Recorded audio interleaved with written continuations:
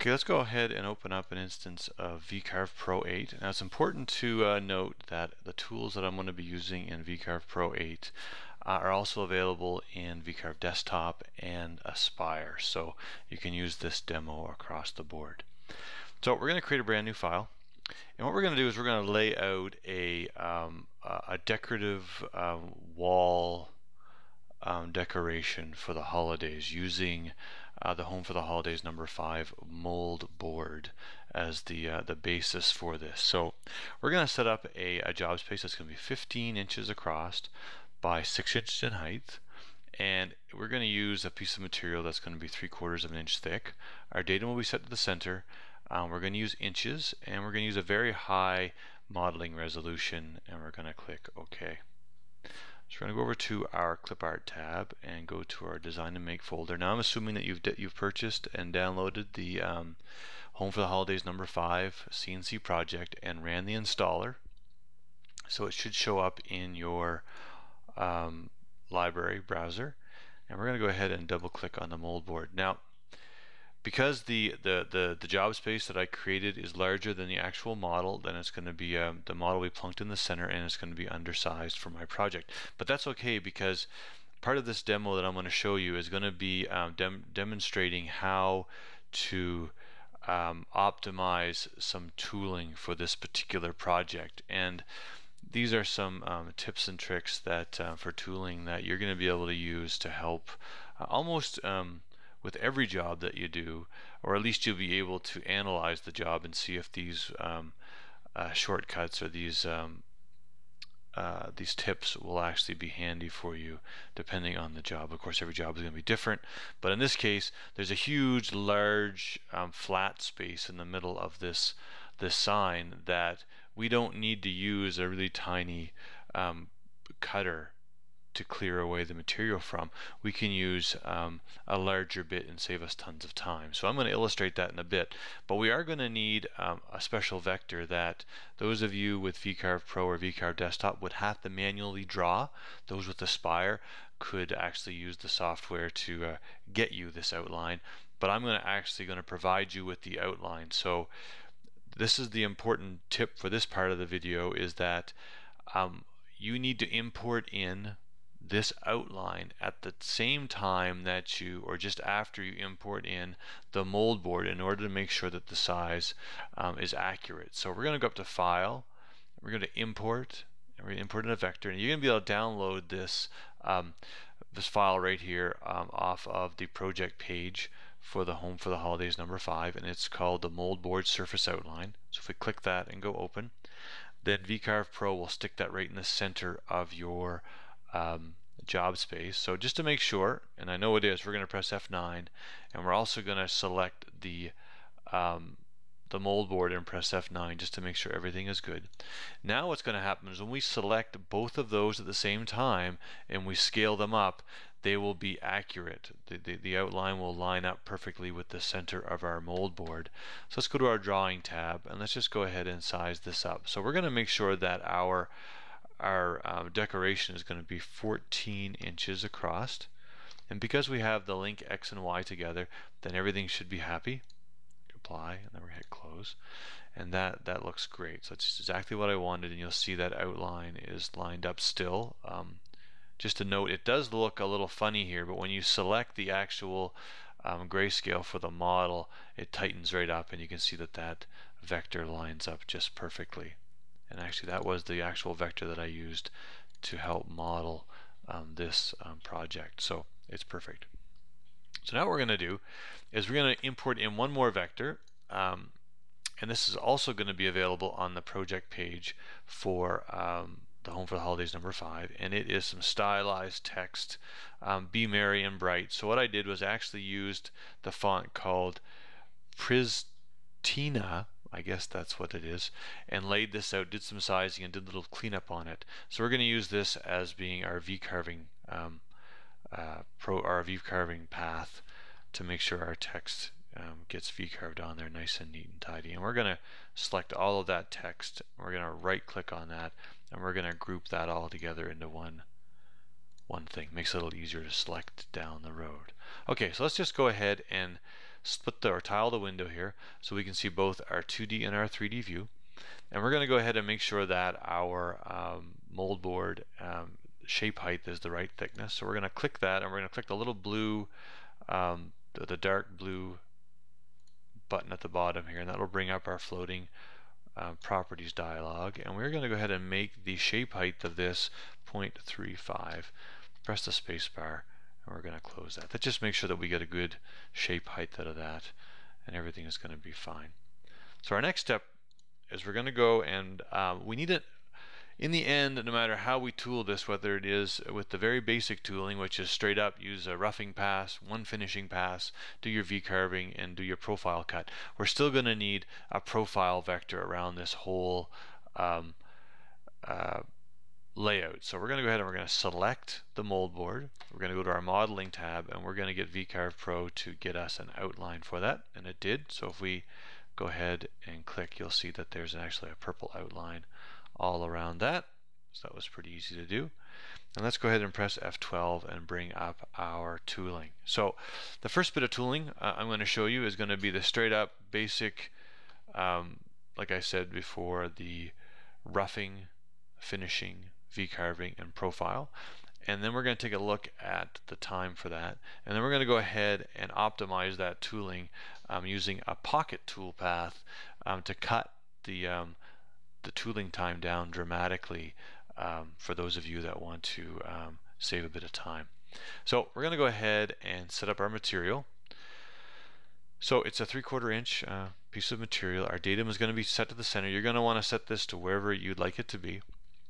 And one thing I would like you to note about this model is that the berries, the holly berries, are actually above the surface. Um, that's on purpose um, for uh, so that when you if you choose to use this as a an actual mold board to make like a cookie mold or to make a clay mold for making um, salt dough Christmas ornaments or maybe you just have some kids in the house or grandkids and you want to make a nice um, uh, Play-Doh mold for them then I wanted it so that when you flipped it over that the berries would actually uh, make sort of like legs so you'd have a thick backing on your um, or a thicker backing on your actual um, clay uh, replicas. So um, that's actually on purpose, but um, I did want to note that. And so also what we're going to do is we're going to leave a little bit of, of extra material on, on the top of our board and on the back of our board. We want the main gap to be on the bottom.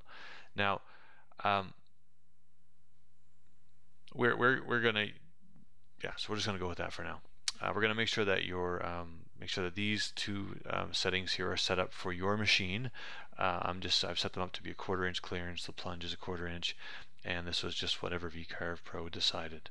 Um, but you're going to want to set that up based on your machine. We're going to click OK.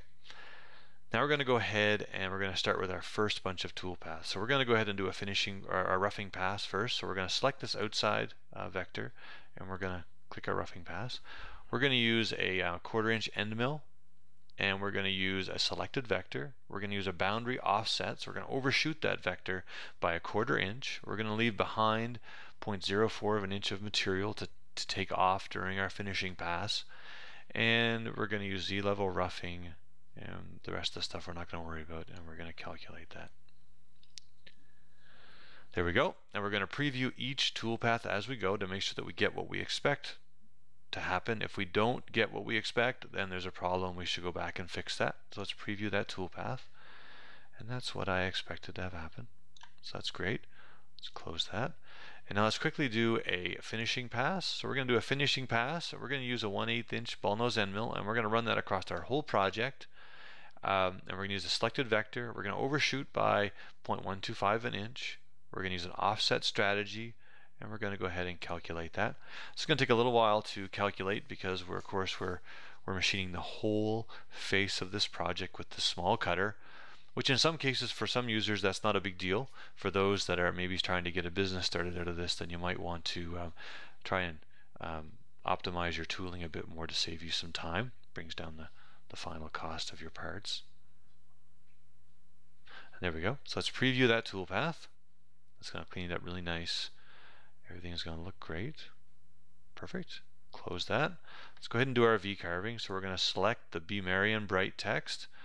We're going to do a V-carve toolpath. Um, our start depth is going to be zero.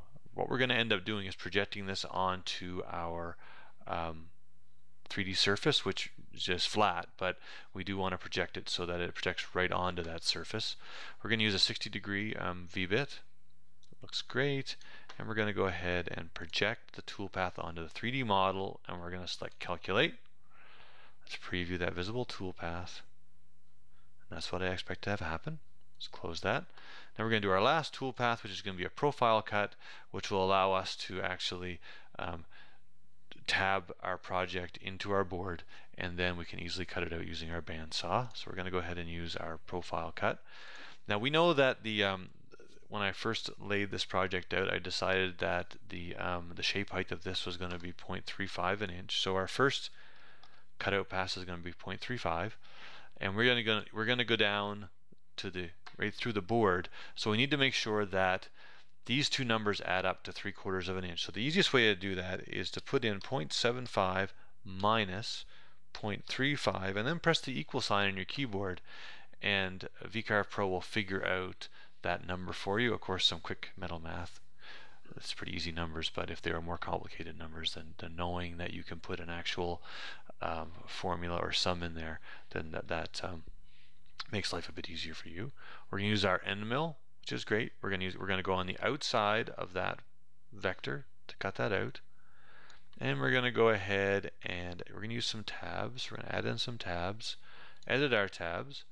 We're going to use four tabs. So we're going to add those in and we're just going to slide those along just to some of these more flat spaces on our project so that we are on our layout so that um, they're easy to remove without getting caught up into our holly berries Oh. deleted that one by mistake. Double click and put that one back in again. Close that and we're going to go ahead and calculate that and then we're going to preview the visible toolpath. Now there we go. So there we have our final uh, decoration for our wall.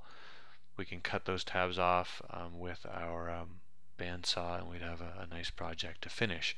Let's go ahead and take a look at our tooling time on that. So that's a an hour and 37 minutes it's going to take to um, to tool that um, or to machine that based on my numbers which are not going to be the same as your numbers. So this is just more or less for comparing the two different tooling times. Um, you're going to have to rely on your own settings to give you proper numbers. So we're going to close that. Now let's go ahead and optimize this. So the easiest way to optimize this would be to, this is a flat area, so let's go ahead and just use a pocketing tool toolpath to pocket all of that out of there right from the get-go and then we don't need to worry about running that little teeny weeny tool all the way along there and wasting all that time. So what we're going to do is we're going to create a two new toolpaths. One is going to be a finishing toolpath for the detailed bits and the other one is going to be a pocketing toolpath. So let's go ahead and do a quick finishing toolpath here of only the space between that mold board vector that we provided for you that we imported in at the first of this video and the outside or the outline profile that we created also earlier in this demo. So let's just go ahead and do a quick finishing pass. So we're going to use those two vectors. We're going to use our quarter inch uh, ball nose end mill. No, sorry, our 1 8 ball nose end mill. Uh, you can use selected vectors. We're going to offset uh, that by 0.125 and we're going to calculate that. And you'll see that VCarve Pro can calculate that toolpath much faster than it did before. And we have a nice um, uh, toolpath. So we're going to go ahead and reset our toolpath preview. And we're going to go back and we're going to pretend that we just did our roughing. So we're going to preview our roughing pass which is what we had calculated before. And then we're going to go down to the bottom of our, of our toolpath list and we're going to preview this new toolpath we just selected or just created sorry. So let's preview that. And you'll see that it goes in and it cleans that up. And you'll also notice that there's a raised edge here that we need to work on. We need to go ahead and pocket out this center. So let's go ahead and do that. So we're going to go ahead and close that and we're going to create a new pocket toolpath. So in order to create a pocket toolpath, you have to have a vector selected. So we're going to select this vector that we imported in earlier. And we need to figure out what the first cut depth is going to be of our um, of our project. So to do that, if we go into our 3D view, and because we have the material setup done already, and that's important to note, then VCarve Pro will give us the height of this surface, the Z, the Z height, um, based on where it is inside of our material. So that's important. So you'll see down here in the bottom, it won't show until I roll my mouse over it, it says point, sorry, minus 0.139. So I'm, I copied that number up into here. So, but we're going to make it a positive number because a negative number is not going to work. So we're going to convert that to a positive number. So it's 0.1309. Again, let's just make sure that matches. It does. Down here in the corner, it says 0.1309, and that's what's there. So that's perfect. So we're going to go ahead and use those two numbers there. We're going to use a quarter inch end mill going to go ahead and calculate that. So now if we preview that toolpath, you'll see that it's going to clean out that extra material and we're ready to roll.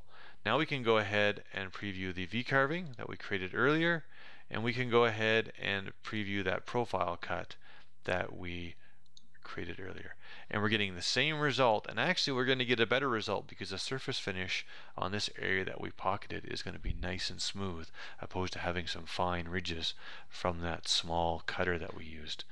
Now if we go ahead and select all the tool paths that we want to go ahead and have VCarve Pro calculate and to give us a total time for tooling. We need the first roughing. We don't want that finishing pass. That's the first one we used we're going to go ahead and show that, that V-carving toolpath, that profile cut.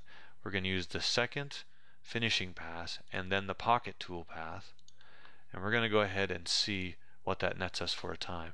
And it gives us 44 minutes.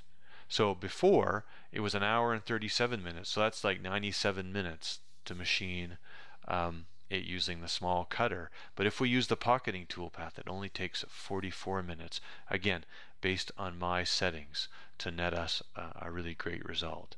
So there's some great tips and tricks for you um, to show you how to um, optimize some tooling for the Home for the Holidays number 5 project. I hope that helps.